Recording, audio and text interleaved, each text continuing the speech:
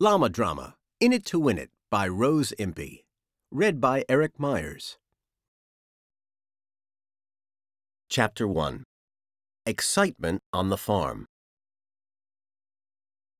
Farmer Palmer's prize winning llamas were getting excited. His prize winning sheep and lambs were feeling pretty bouncy too. In fact, there hadn't been so much excitement on the farm since the farmer picked a new guard llama to protect his flock of sheep, and to everyone's amazement, chose Louis. Louis was not the obvious choice, not by any means. The farmer's previous guard llama, Livingston, had been so tough he'd been nicknamed the Terminator. Even compared to his older brothers, Leo and Lamar, and his tough sister, Letitia. Louis seemed giddy, dizzy, a bit of a joke, really. It was certainly true that Louis was no ordinary llama. Other llamas didn't spend their days singing, and dancing, and acting. Even his parents, Mama and Papa Llama, had to admit that Louis was a bit of a drama llama. As a guard llama, though, Louis had surprised everyone.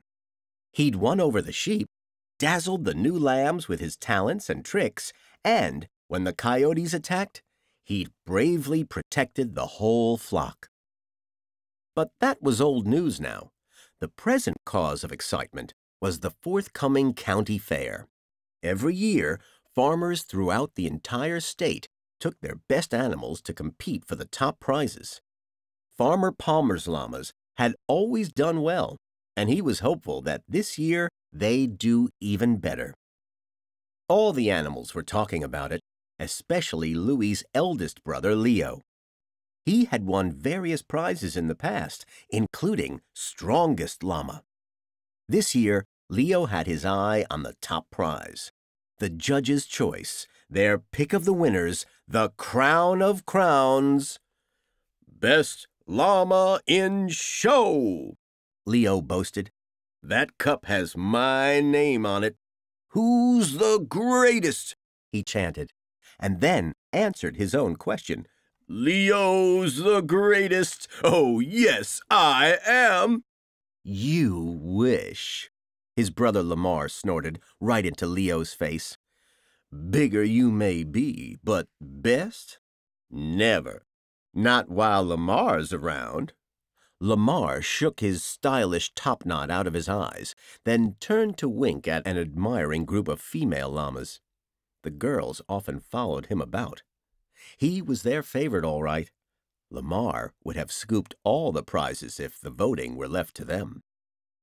Letitia chewed on a long piece of grass as she watched her brothers argue. Tch, she said as she spat it out. The only prize you two are likely to win is most boring llama in the world. Liberty, one of their other sisters, honked with laughter, but Leo and Lamar nudged her backwards. No one asked your opinion, they brayed. Don't stand any nonsense from those two, Letitia told her. They're all hot air and bad breath.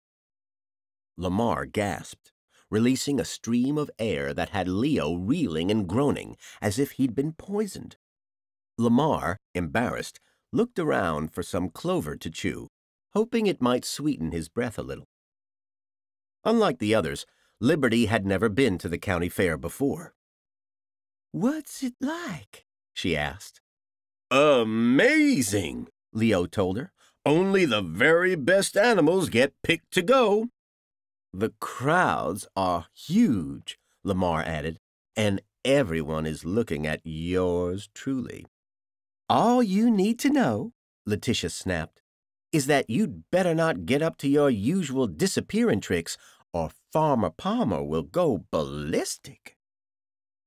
Like her twin brother Louis, Liberty had her own special talent. She was an escape artist extraordinaire. In fact, there had never been a fence yet that could keep Liberty in. When Mama Llama heard Letitia's words, she sighed, shaking her head sadly. If Farmer Palmer can't keep Liberty safely enclosed here on the farm, how will he manage it at the county fair? she asked her husband anxiously, And if he doesn't, we may never see her again. Don't worry, my dear, replied Papa Llama. Louis will keep his eye on her. At the very thought of Louis, Mama Llama relaxed. It was such a welcome change not to have to worry about Louis anymore. Far from it. Both Mama and Papa Llama were now pinning their hopes on him being awarded the other top prize, Best Guard Llama. This was an achievement not even the Terminator had managed. This and Best Llama in Show were the two prizes the farmer had never won. So he was very keen to snatch both from under the nose of his arch rival, Farmer Hardman. This year, with Louis, Farmer Palmer had begun to believe that he might at least manage to win Best Guard Llama. Leo, Lamar, and Letitia would have brayed with laughter at the very thought. But it wasn't so far-fetched. The prize involved obedience and agility tests that would demonstrate how well the guard llama could manage his flock. Surely, after all the performing that the sheep and lambs had done under Louis's supervision, they were fit enough and skilled enough to see off any competition. Louis badly wanted to win the prize, mostly to show Farmer Palmer that he'd made the right choice in him. But Louis knew better than to get his hopes up.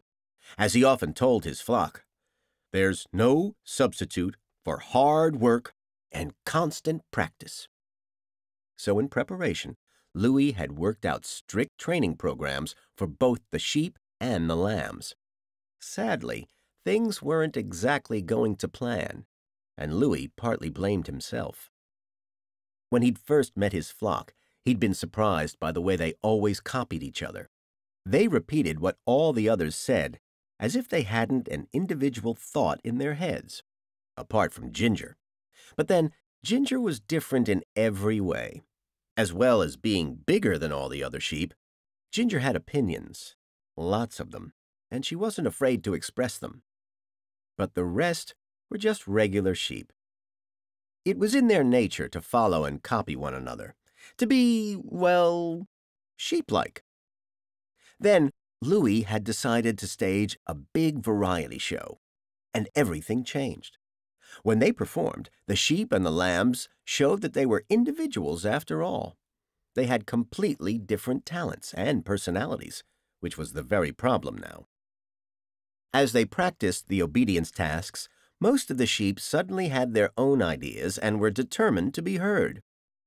No, no, no. This is the bit where we turn right, said Ginger bossily. I think you'll find it was left, argued Sheila. It was straight on, actually, shouted Shula. I think we should do a reverse turn here, suggested Shauna. I've got a better idea, volunteered Shirley as she demonstrated a series of side steps and shimmies. Rubbish, snapped Shelley. I'm not doing that. It was as if the sheep had forgotten how to work as a team, how to be obedient. Louis shook his head and wished his sheep could be more, well, sheep-like. Things weren't much better with the lambs, either. Although Shep, Shu, Shane, Sheba, Shaw, and Bertie were still happy to do exactly as Louis told them, their problem was trying too hard and controlling their nerves. Just the thought of the county fair had the lamb's legs turning to jelly. With lots of encouragement from Louis, the lambs managed to complete most of their routines until it came to their famous lamb pyramid. This relied on perfect timing and balance, and the lambs had always been able to perform it well.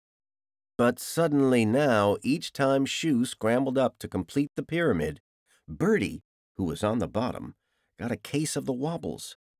Then the whole pyramid collapsed and disappeared into a giggling woolly heap. Whoops-a-daisy!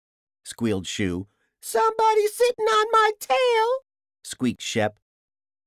Get off my head! bleated Bertie, who then burst into tears. Louis had told Bertie that as he was the biggest and strongest, he was the anchoring lamb. Everything relied on him standing firm. Like his mother, Ginger, Bertie was a tough character. But now, for some reason, he kept losing his nerve. He knew he was letting everyone down. I'm so sorry, he bleated. The other lambs gathered around Bertie, nudging him gently. You'll be fine. You'll all be fine. Just keep practicing, Louis reassured them. But in truth, with only a week left to the county fair, Louis began to wonder how they would ever pull it all together into a prize winning performance. Of course, the only person Louis allowed to hear his doubts was his twin sister Liberty, who slipped out of the llama enclosure each evening for a bedtime chat. She soon lifted Louis's spirits. You're unbeatable, Lou, she told him. The sheep and lambs are working so hard, and with you leading them, no other guard llama has a chance of winning. Louis prayed that his sister was right. He thought of everyone whose hopes were pinned on him Mama and Papa Llama, the farmer and his daughter Millie, who'd always believed in Louis. Then there were the sheep and the lambs, too. You're just having last minute nerves, Liberty told him. Louis smiled back. Yes, that's all it was. Just a bit of stage fright. He must keep it to himself. He didn't want the sheep or the lambs to lose any more confidence. Louis started to allow himself to feel a little excited at the thought of their forthcoming adventure. County Fair, here we come, he said, grinning. Not far away, another group of animals was getting excited at the prospect of the county fair, too. It was an important annual event for the local coyotes who were already gathering from around the county. It was their chance to inspect at close quarters the best prize winning livestock in the area. It was a predator's shop window, a not to be missed opportunity to check out the juiciest, most mouth watering flock of sheep. Some of the younger, bolder coyotes, confident they'd snatch a tender lamb or two, were arguing over the perfect accompaniment for their lamb chops. We hope you enjoyed this preview. To continue listening to this audiobook on Google Play Books, use the link in the video description.